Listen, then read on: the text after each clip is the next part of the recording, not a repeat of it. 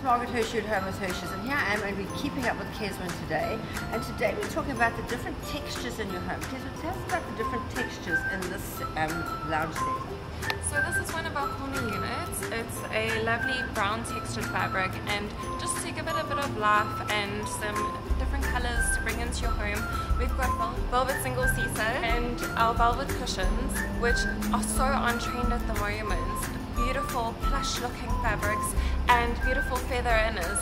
It just make, it gives your home a different dimension. And also having the different texture on the coffee table and these beautiful, beautiful um, side tables as well. We've got everything here to make your home look like a palace.